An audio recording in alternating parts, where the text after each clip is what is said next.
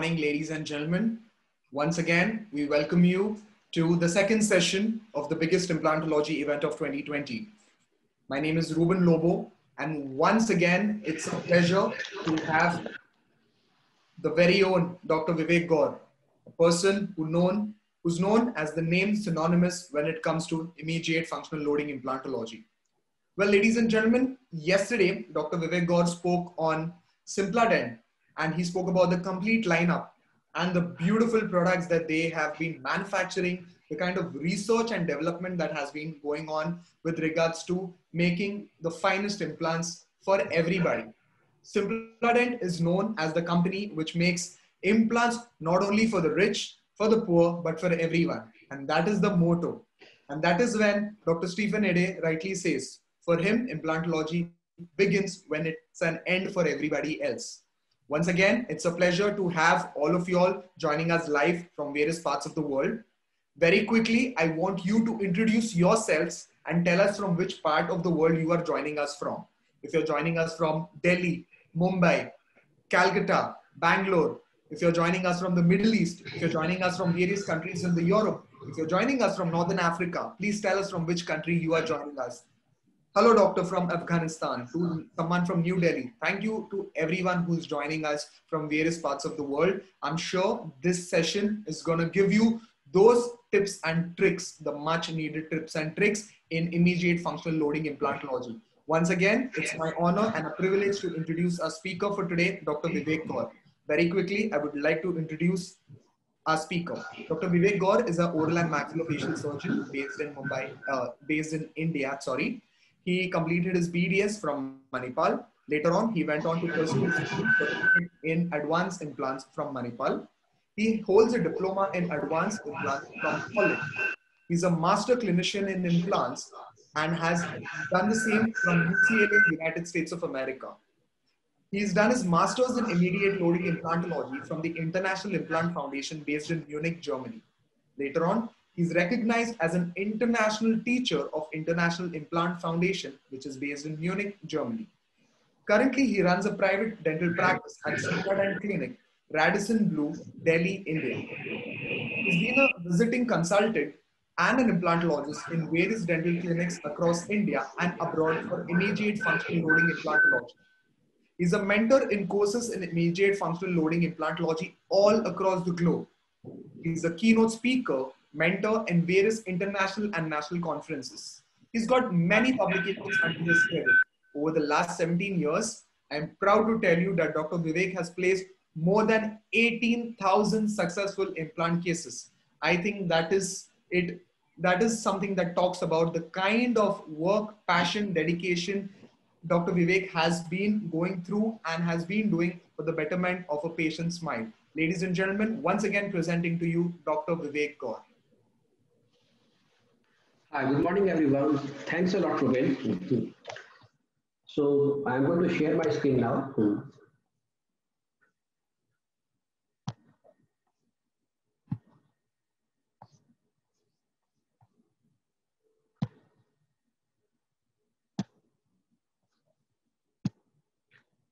Yeah, now it's working properly, yes.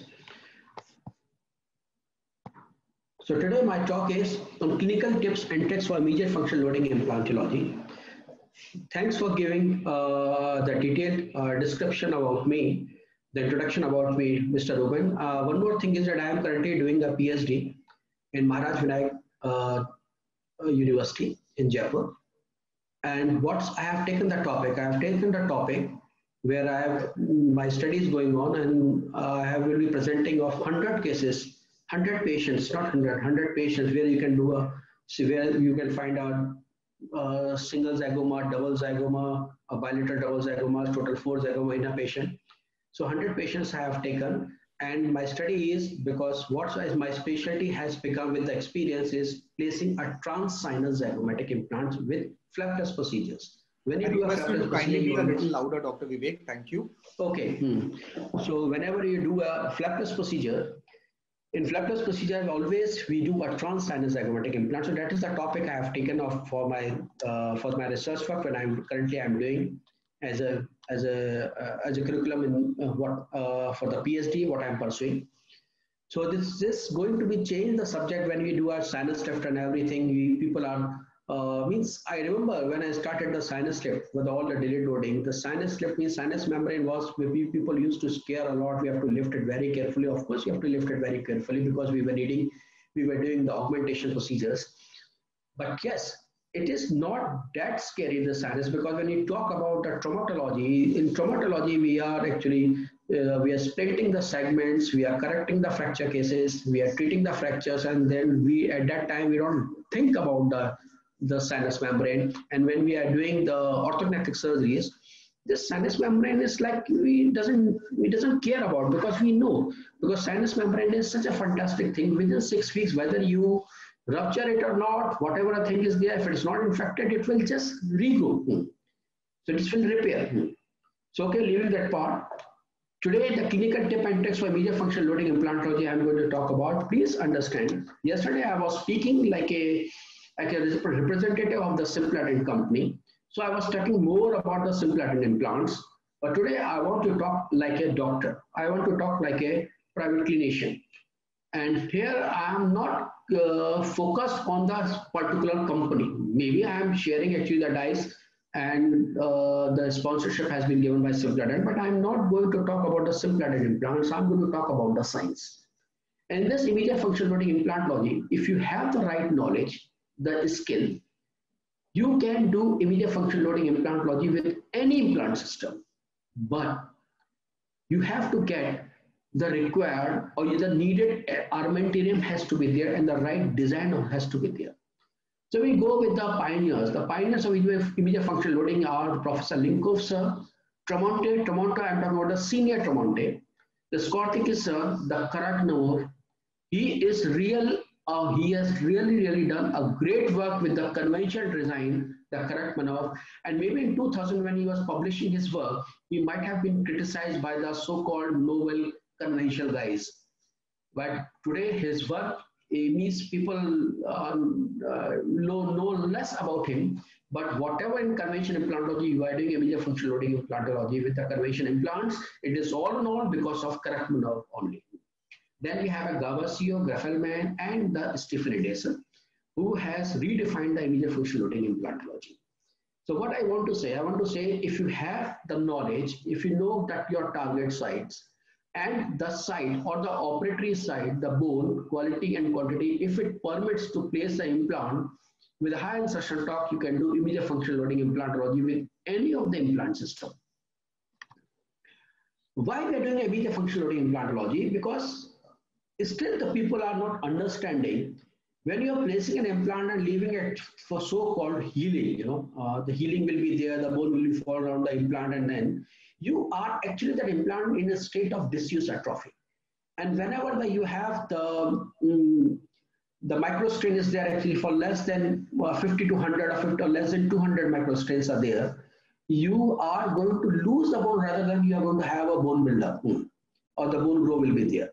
But when you are, and then you have a steady state and physiological overload means till 4000 of microns, you strains, you are going to have a bone apposition around the implant and you are going to have a laminar bone as fast as possible instead of the woven bone. If you are just placing the implant, leaving it, there's a full cascade of healing is taking place. First of all, the woven bone formation will be there. And later on, when the function is provided, then the laminar bone formation takes.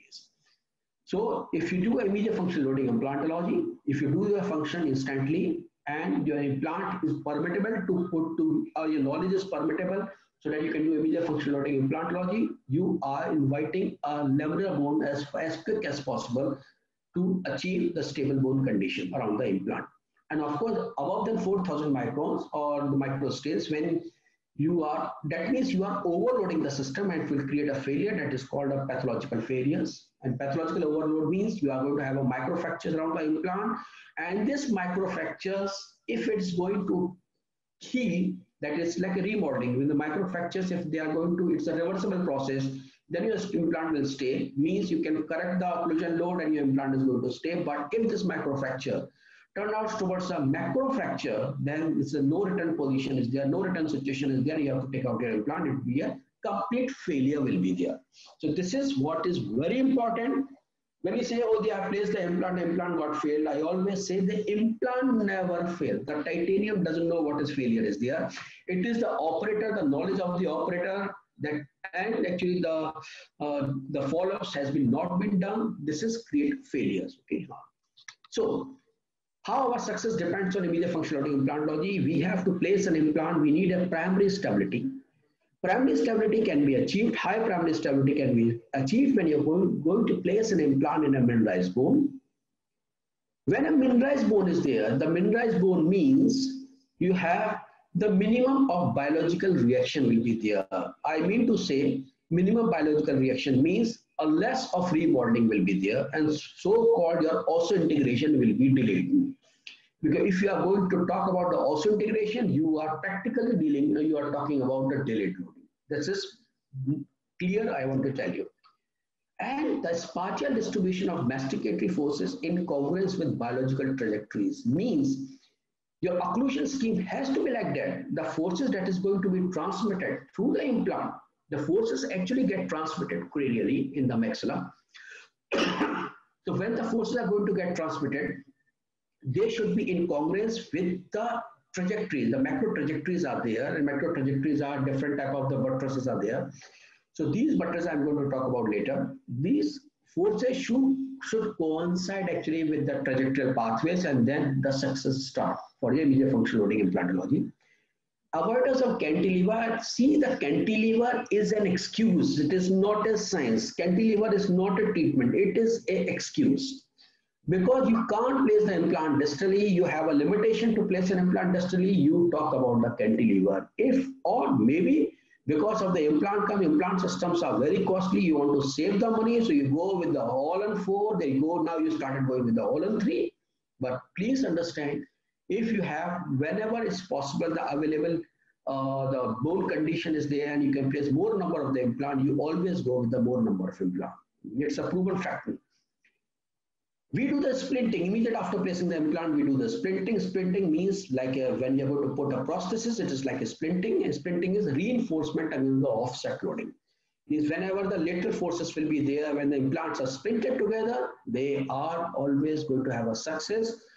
And if the implant is angulated, placed, and you have a lateral forces are there, then you are going to create a failure for the implant you should place sufficient number of fixtures. There's nothing like no contraindication is there and you cannot place more number of the implant. Whatever the people or at the back, they can laugh or oh, you are placing more number of implant or the patient is not going to have a titanium deficiency. I call them a complete idiots because they have not learned the biomechanics of the jaw. In mandible, you can play around with the less implant, but for the maxilla, you have to place more number of implant, definitely.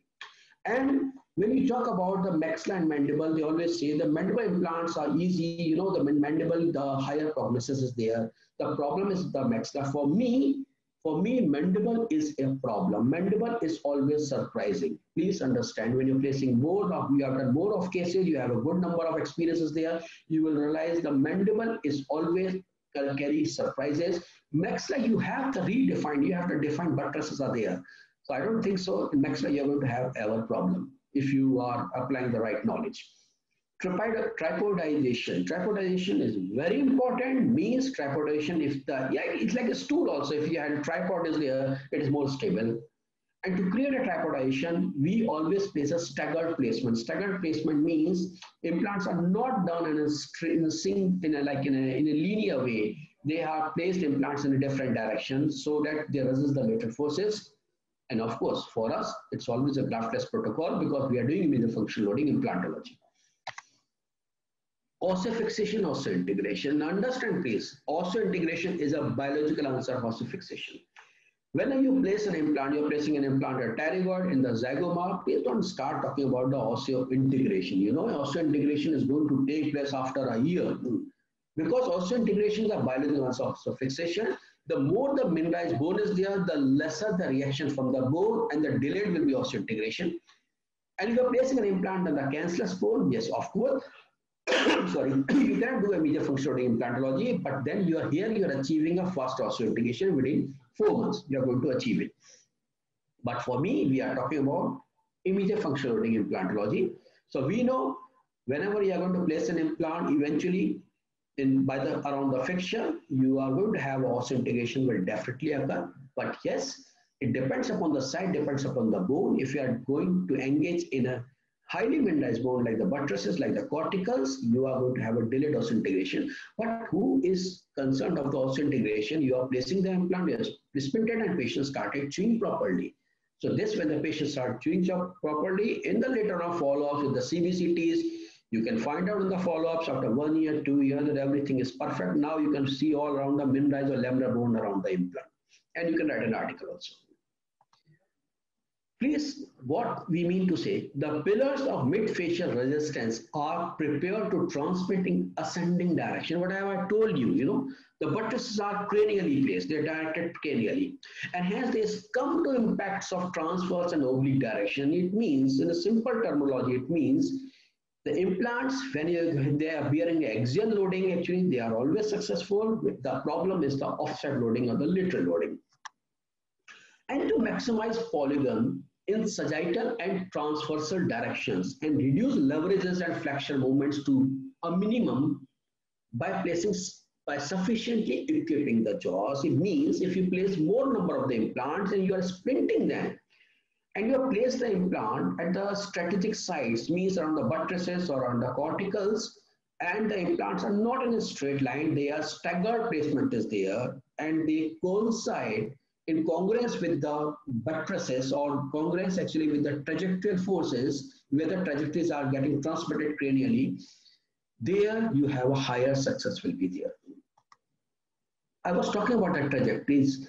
See for me, maxilla, it's full of buttresses is there, like superior transverse facial buttresses there, inferior, middle, for the maxilla. And we have the vertical buttress also available, like zygomatic, pterygomaxillary, and the nasomaxillary buttress is there. And we're talking about the, if the resection cases are there, the rehabilitation of the post-ablative cases, you have the central nasoethmoidal buttresses there. You can place an implant at the glabella and you can create a nasal prosthesis. Sorry. Or you have uh, the, all the buttresses available. For the mandible, you have only two buttresses are there. Like you have superior transverse mandibular and the inferior transverse mandibular buttresses. So between the intermental foramen region, you have a like like as a centerpiece principle, you have a highly mineralized bone is there. But if you go in the posterior, only the base is available or the lingual cortical. Base doesn't mean the base of mandible, it means the lingual cortical also. Okay. So the base is available or the lingual cortical is available where you can engage the implant and you can avoid cantilever suggestion. So this is an example of a staggered implant placement. You so uh, we we are so uh, means uh, we don't place implant in a straight direction. Okay, pterygoids are there, zygomatic implant is there, implant is there, the nasomaxillary buttress is also there, implant engaging the nasal cortical is there. Okay. And this is the yesterday also I have shown this picture. I am just going to show this picture. I am not going to talk the detail about this. These are the cases. If I had a if I had a lecture on the cases, and lecture on the resection, rehabilitation of the resection cases. I have a good number of cases are there. We can lecture, but this this is this lecture is based on the immediate function loading implantology. So we are just showing it. We just want I just want to show the trapezization what I talked about. Trapezization is like this is the perfect trapezization ever been achieved, ever been has been done by um, by implants. I was lucky and honored to done this case last year it was, it was the first time ever been done. It is like the placement of the implant in the pterygoids, in the zygoma, and at the engaging the central nasoethmoidal buttresses near reaching near the glabella. This is the case what I did, and this create a perfect trapezization.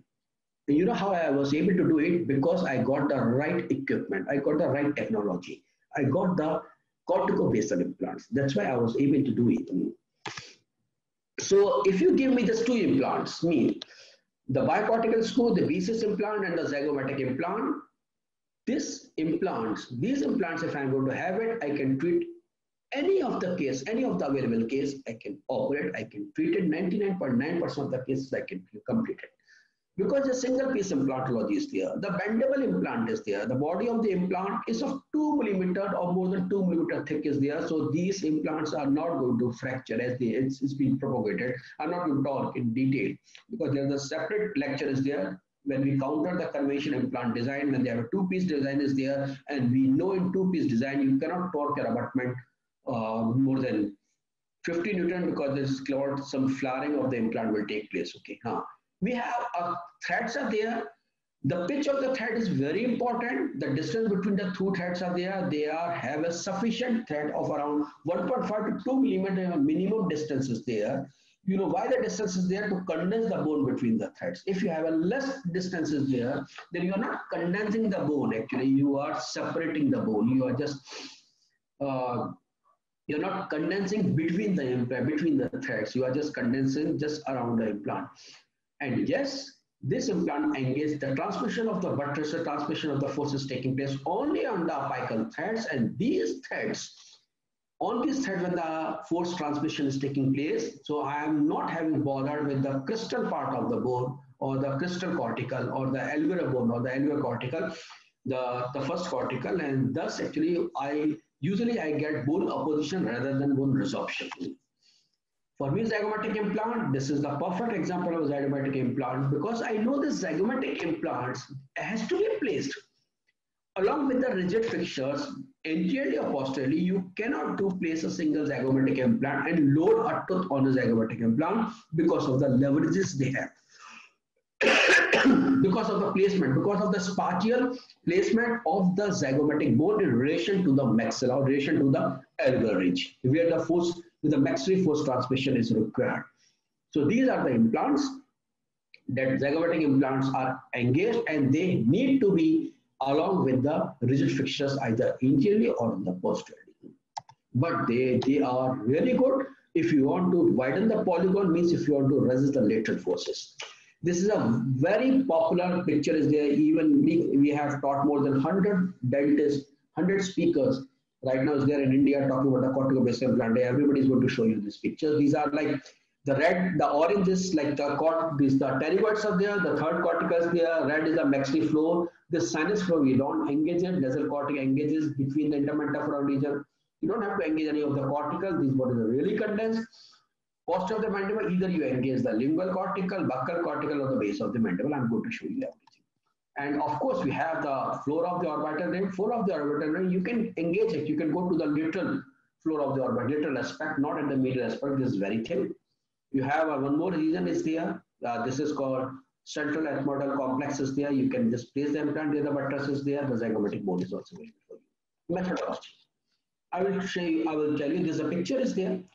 So how we do, does it. For me, it is like we always routinely place 10 to 12 implants in the maxilla and 8 implants in the mandible. How we does it? Usually we do single pterygoid or the double pterygoids. We have matured ourselves to placing a triple pterygoids also. They had importances there.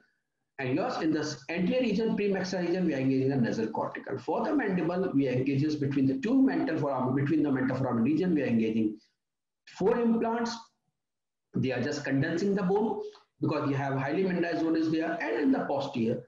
If you if you have the the height is available above the inferior canal means if you have on three to four meter bone is there above the inferior canal you have a sufficient mylohyoid undercut is there very stable undercut where you can engage the implant load and engage the lingual cortical. So this is how it goes. That's uh, our scheme is there. I'm going to show you. That's of course we do the after there were the extractions were required. Otherwise, we do the flapless procedures. This is the metal to acrylic prosthesis. You can go metal to ceramic. You can do metal to indirect composite. I have never done with the zirconia. I will never do it for the full mouth rehabilitation.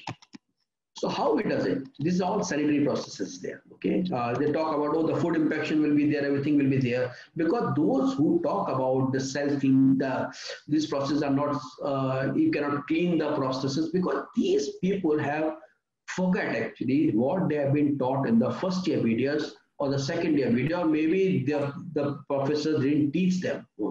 It is like that. The protocol is in the I, I remember till in second year where I've been taught never cantilever Dr. Vivek, always yeah, yeah. Sorry to disturb you. Uh, participants, I want to ask you, are you able to see the screen? If yes, please type yes.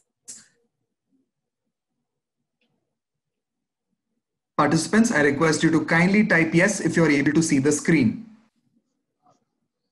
Thank you so much. Please continue, Dr. Vivek. Thank you. Okay, so hmm.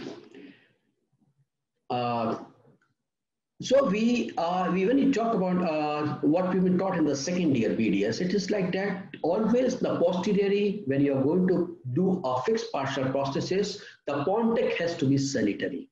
In the anterior, you can create a modified ridge lap, but the posterior has to be solitary. This is the scheme you are going to follow. Your patient never going to have any problem.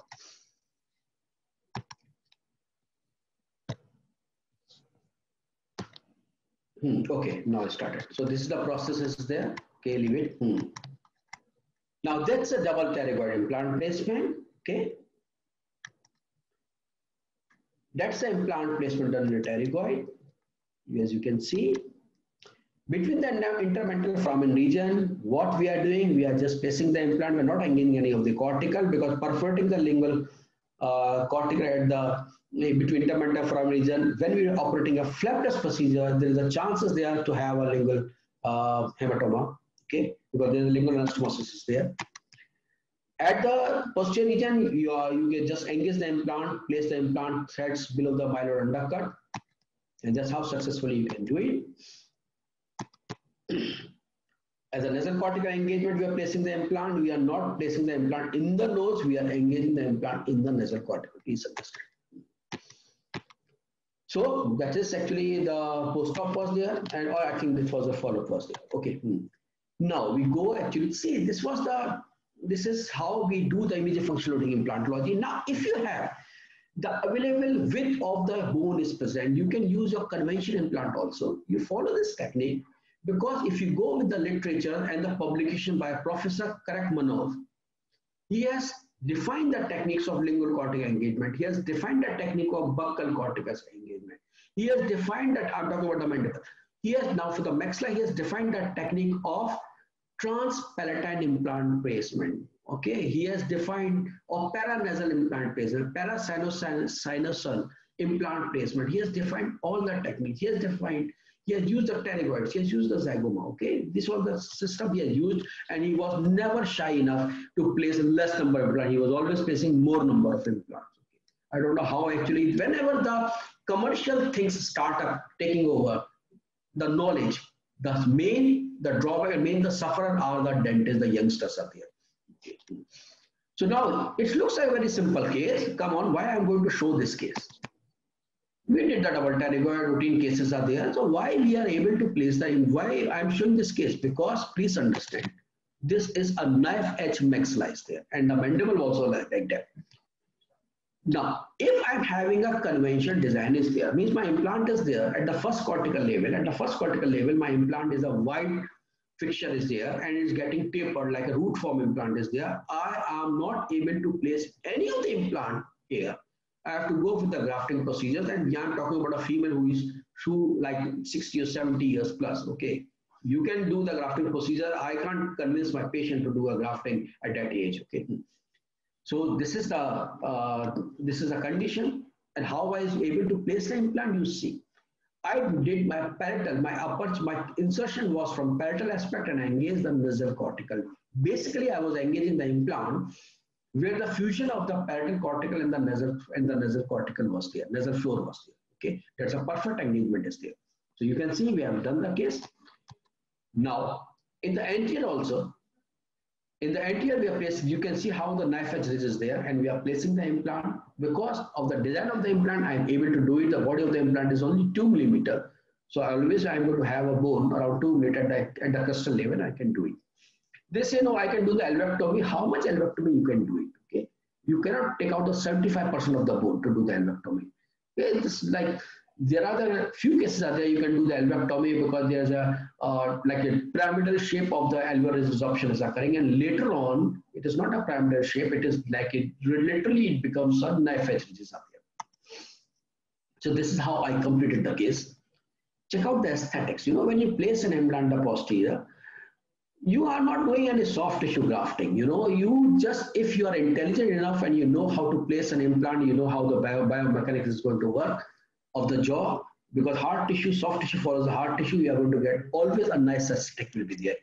After two years of the follow-up, You can see the stains and everything is there. Uh, there is a resorption is occurring. Some uh, recession of the of the of the bone has occurred in the mandible. But check out the position of the maxilla. Check out the anterior section of the maxilla. You are always getting a uh, a stable uh, gingival biotype is there in the maxilla. Of course, in the mandible, whatever the grafting procedure you are intended to do, mandible is having in the anterior region the centripetal resorption. So it always resolve because this is how the bone is going to get function. So buccal cortical always get rid away in the anterior of the, of the mandible. Of course, now when you have uh, the atrophic cases are there, you can do the bypass okay this is i have done with the flap you can do this i've done with flap plus you can do with the flap also no uh, there's nothing like that. You are you are suppo- only you are supposed to do with the flapless procedures. You can do with the flap also. That's a that's a pre-op procedure. That's how we bypass the implant. We bypass the implant. Buccally buccally there is always at the second molar region you always have sufficient, sufficient spaces available. Sufficient bone is available. Media or the, sorry, the vestibular to the inferior canal, you can place an implant and get the base. This is how we have completed. Okay, you see the idea of the idea, of the implant, how I have done it, and this the and the lower. Okay, and posterior you can see how nicely this implant has went straight and engaged the base of the mandible. the prosthetic scheme I have created, posterior sanitary is there, Anterior, no contacts are there in canine to canine. Posterior, I have given the lingual occlusion. Come towards the pterygoids. Pterygoids is very important if you want to avoid the cantilever. Understand this picture. You are going to get this picture in detail because we have written good number of articles. They are under review when they are going to get published. I have written in detail about the pterygoids. I have written detail about the transsinus placement of the zygomatic implants also uh, articles I have written and when they will be published I am going to share it definitely. You are going to get good number of articles in www.simpladent.in. Again I am saying www.simpladent.in. There is a section is there of the pterygoids oh, sorry, the section is there of the publication. All the articles have been posted and the, all the publications are, are, there. Free of course, you can download, you can read it. So this is what, what's the importance of a pterygoid. Now I just want to tell you one more thing. Again, I say yesterday also, I told again, say whenever your speakers are talking about the pterygoid, because now everybody talk about a pterygoid implant. When I started showing the pictures in 2010, the pterygoid, I, I've been taught actually by Professor Edesa, and they were doing the pterygoid from 2000 onwards. But yes, when I started talking about the pterygoids in 2010, they because the cities at that time, if you if you see the OPG, in OPG, it used to feel like that pterygoid implant is not in the bone. It is like a soft tissue. And all the legendary figures of India and abroad, when you used to post the picture, in Facebook, they used to say, where you have placed the implant, this implant is a soft tissue. And today, these people must realize whatever the statement they have done because they were not taught properly or their knowledge was limited. That's why they were talking all about this thing.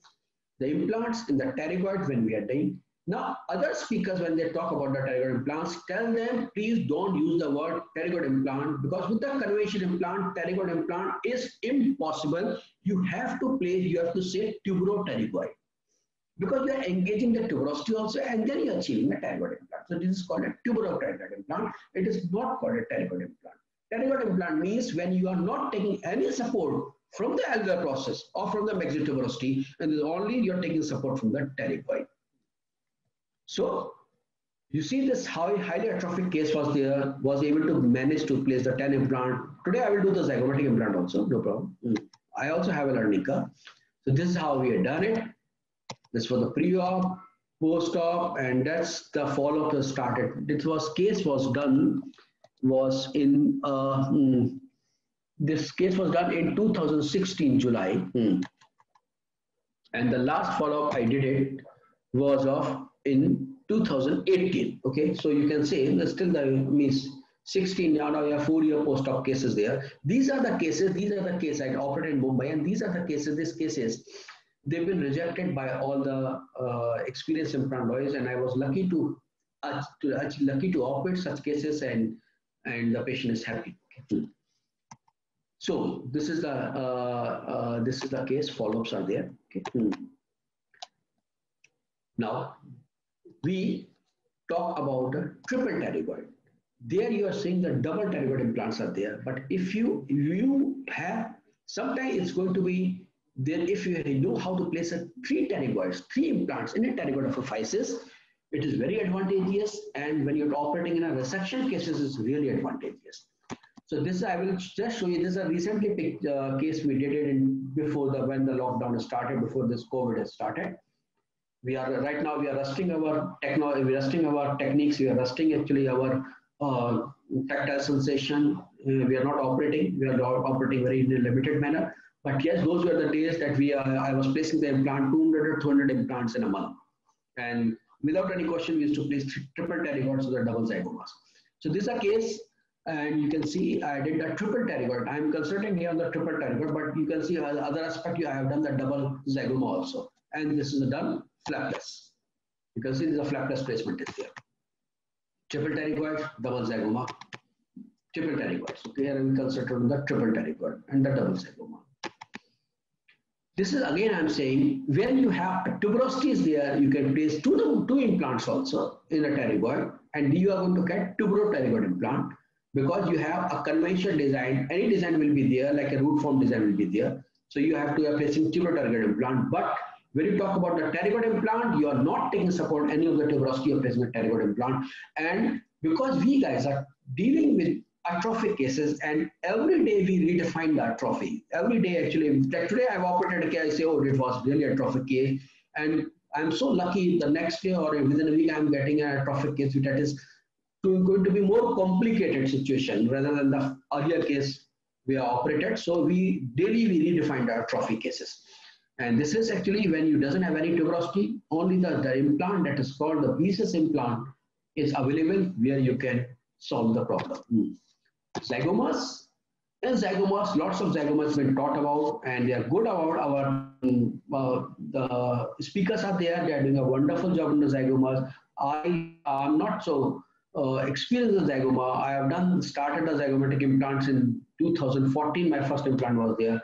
But I'm experienced enough to tell you that I have a record, means I've done more than 150 or around 200 zygomatic implants already have been tested. In that 100 zygomatic implants are going to come in my study we have done it actually within, I can say, I started the study last year in in July onwards, and by March, uh, by March before the lockdown started, we already completed 100 cases of the zygomatic implant. Here you are going to talk. Here you have you should know when you're doing a flapless zygomatic implant, you are talking about the transverse facial artery. This is the artery you should be caring, transverse facial artery, when you're operating actually the flapless procedures. Now I'm going to talk with the flap, flap procedure. This flap actually, there's a cases there. Such type of the cases, we doesn't have any competition, no, no, no, uh, no interview is, is there. Actually, you have to give your interview to a, to a doctor who is calling you as a consultant because they know only you can solve it. Uh, otherwise, uh, this patient is, they are not able to, able to operate. So this is the cases are there. That's a lucky case are there for me. And this is like double pterygoid, Senti implant, as a cortical engagement, and, and uh, zygomatic implants are there. This middle two conventional implants are there. This is not my case. This is not I have done. I have not done it. Okay. The staggered placement, implant placement of the zygomatic, it's when it's splintered with the anterior or the posterior implant, these implants are so perfect, they resist the lateral forces. This is how we have done it. The bending of the implant, you can see after bending of the implant, you can you can make the implant as close to the ideal position of the implant along the ridge. Okay. So there is no palatal emergencies there. Then you can bend the implant. So you can see how the atrophic, what was the atrophy was there. We restored the cases. We have restored the case. Okay. And that's the follow-ups are there. Then you do, we talk about the transsinus implant placement, the flapless procedures. These are the flapless procedures are there. They're going to operate, you can see. And this is how I do my osteotomy. Then we place the implant and we bend the implant. So after bending the implant, after making the implant bendable and coming to a pro desired prosthetic direction, nobody can say that this is a zygomatic implant. They think it's like a premolar implant. Okay? You can see how neat and clean the surgeries are there. And it is not done in general anesthesia. It is done in infiltration. And patient has been taught, yes, yeah, we will be placing an implant and the some very good bone is there that is below the eye. And it's a good bone, that's why we are placing the implant. We are not exaggerating the situation. We are placing an implant in the zygoma. We are placing implant in the pterygoid. No, we doesn't say like that. We are very, uh, we tell the procedure to our patient, inform the procedure to the patient, these are the procedures are there. We engage pterygoid, zygomatic, and it's a routine procedure is there. It is not a complicated surgery is there. Okay, so you are not supposed to pay anything extra. It is needed. That's why we are doing it. If you want to pay, you have to charge patient from extra. What you do, you started exaggerating the situation. Oh, we are placing pterygoid, we are placing zygoma. It's not for us. Okay, which is just like a routine cases are there for us. This is an implant, we have done it. That's a case is there. That's a zygomatic implant. Okay, you can see how it does a trans-sinus placement. Hmm.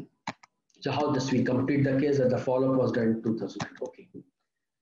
Now, you can, if you are placing implants in a segment, it is very practical because in full mouth cases, we are achieving the rigid uh, we are having a cross-arch stabilization, but in the, in the segmental cases, if you place an implant, zygomatic implant, what you achieve, you achieve the implants, the stability against the lateral forces. So that was the case was there, and that's how I done it.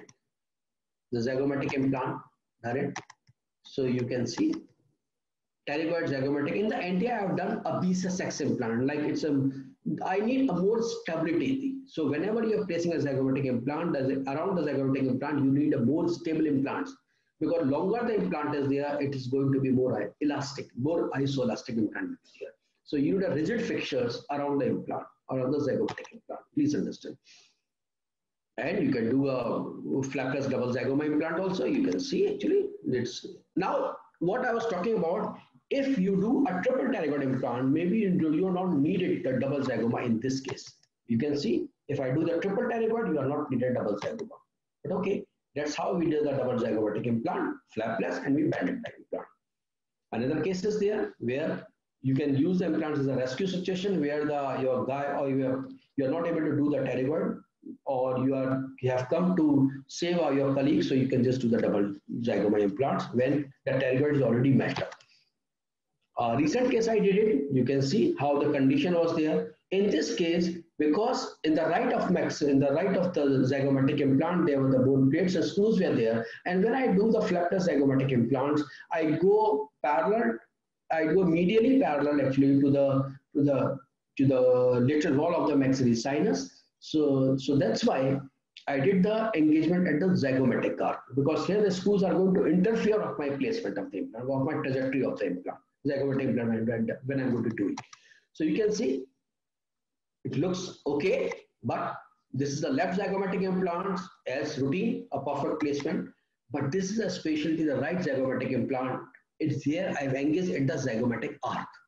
So this implant being engaged by uh, distal or the lateral to the zygomatic bone, but at the zygomatic arc.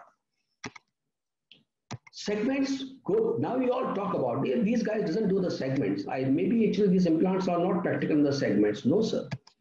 Segments, we do it. Like you can see, the two like very old cases we have did it. Now I'm lucky actually I'm not able, I'm not getting the segmental cases. But yes, after COVID, right now I'm doing this. Uh, if I'm going to get the segmental cases, I have to do it. You know. Mm because you cannot sit uh, idle in the clinic and you can just wait for the full mouth cases. So these are the implants are there. We did the segment a follow-up is there. You can see how the staggered implant placement is there. And that's how uh, it, it, it's successful, you know. Like this reason, you take out the third molars and place the implant. It's like that. This is how you do the segmental cases. This is an aesthetic case I showed yesterday also. I'm just showing because maybe the yesterday few of the parchments were not there. And today, if they are there and they say, come on, these guys doesn't have, they don't do the NTA cases and NTA cases, we do the multiple grafting procedures is there, one zone, two zone, kidneys tissue grafting, and we guys knows how to do the aesthetic cases. So this again, I'm repeating the aesthetic case, what I've shown you. This is a nice aesthetic I have created. The fracture, the traumatized patient was there, and that's the final result we have getting after more than one year. How we did it? we have we that was a fracture case was there included lateral incisor was there we did the extrusion orthodontically and then I did the socket shield, placed the implant. The funny part of the socket shield is, you know, the speakers who, who all talk about the uh, the one zone grafting, two zone grafting, connective tissue grafting, they are doing it. And these same speakers, after a decade, they all talking about, started talking about the socket shield. Guys, there was some problem was there. If your grafting was so successful, so what is the need of a socket shield? Because whatever the grafting procedures you do, there's always a collapse of the graft will definitely will be there. That is the bone biology is there. So that and when you have a stable bone is there, when like a why we're doing a root membrane, root membrane is attached to the laminar bone. That's why. So you are not going to have any collapse. So that is now we all do the socket shield procedures. That is actually the maybe uh, a few days after. Okay, these cases are there, and thus I'm going to show you the follow. You can see the follow the shield is always already there, and that is the follow-up. It's a follow-up more than after a year. That is a follow-up. I've got it. Okay. So there were only I didn't change the processes. No temporaries were there. It is the pros the crown has to be there like that.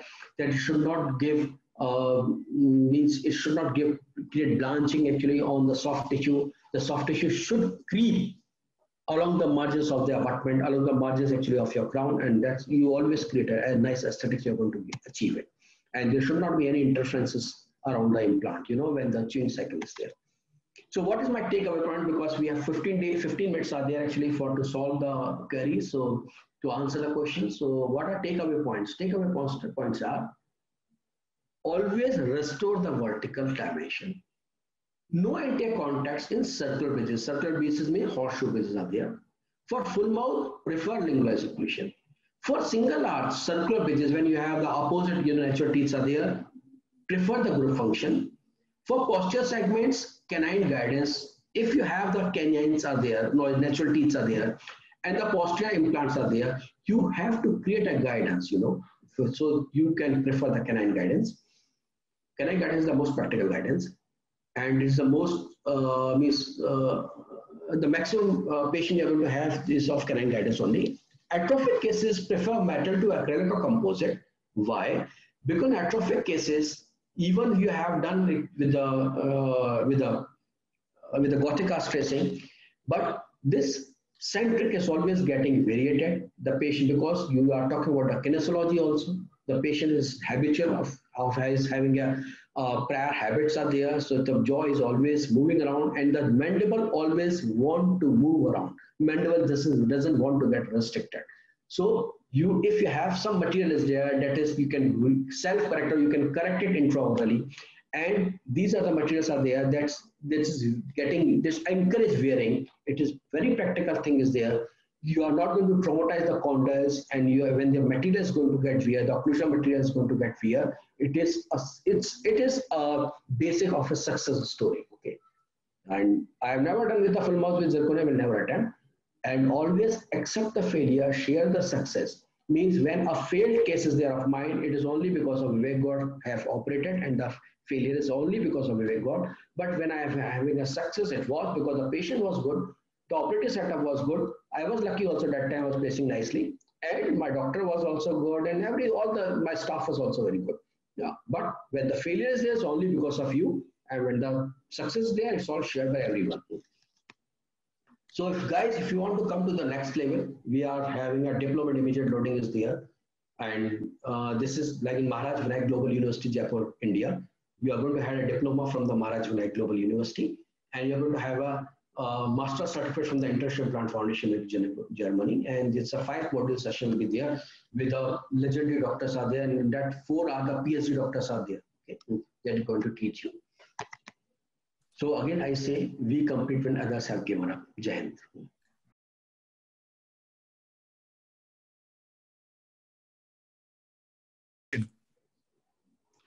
Uh, this is how, sir, what is your opening about the XLBL implant? I, I don't know what is XLBL implant. Maybe you're talking about the wide, uh, the wide abutment implant. So I always prefer the wide abutment implant. uh, uh, I am Dr. May. What is the success rate of immediate loading function implantology? the success story is the implant always prefer, the bone always prefer the immediate function loading. And any of the implant fixture, if you are going to play, if you are going to function more than one year, and the secondary remodeling, or after two years, the secondary remodeling has been stabilized. So you are going to have the secondary mineralization has been stable, has been stabilized. You are going to have the life, lifelong, the implant will be there. But the thing is, what the implant you are using. If I am using a smooth surface implant, then I am really assured because even if there is a crestal bone resorption occur, I am not going to catch up. My implant is not going to catch up any peri-implantitis. So this implant is going to be a higher success rate when you're going to compare with the conventional design. You say, no, I'm having a lots of literature of the conventional design. Guys, these single piece implantology started in 1940s and 1950s. Okay. So we are going to go with the single piece implantology, you are going to get a much more follow-ups. And the follow-up depends on the occlusion and the right technique. If you don't know about the, if he doesn't have a, if doesn't have a proper knowledge of the occlusion, then whatever the implant you do, you are going to have a failure.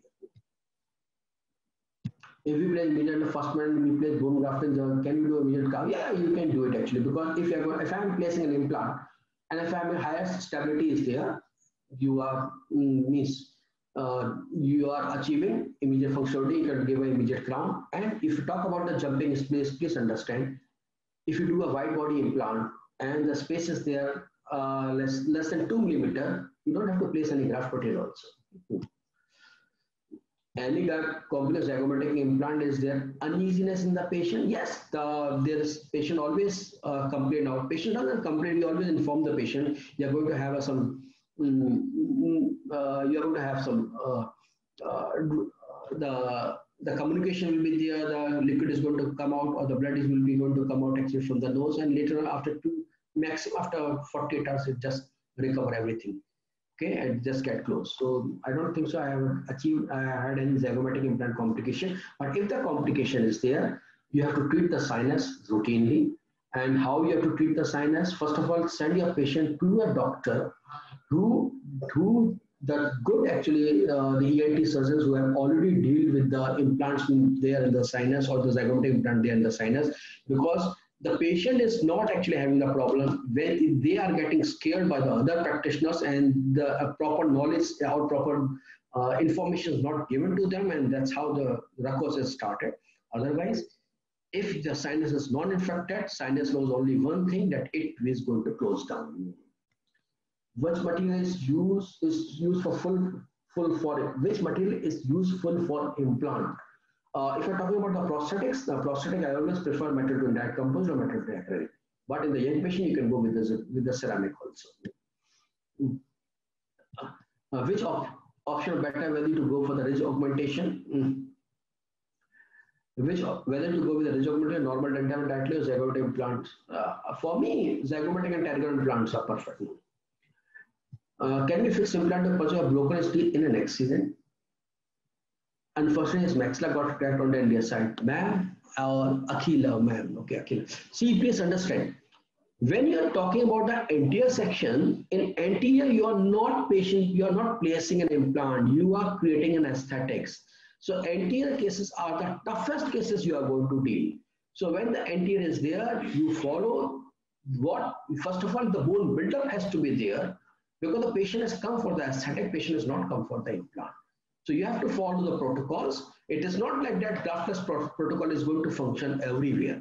No, you have to go. First of all, you have to deal the situation how the the volume what the volume of the bone is missing. You have to create the bone volume by maybe the hard tissue grafting, and then you place an implant. There are the cases are there with the multiple resorption of the graft has occurred twice or thrice, then there's no need to go and you can just do the graftless protocols, what have you. So for me, actually, in the ideal cases, I prefer replacing a tooth rather than an implant, rather than going, I'm not placing an implant in the anterior section, what I want to tell you, in the aesthetic section, I'm placing a tooth. I'm replacing a tooth. So to replace a tooth, you have to create the zenith, you have to create a jugulum and everything.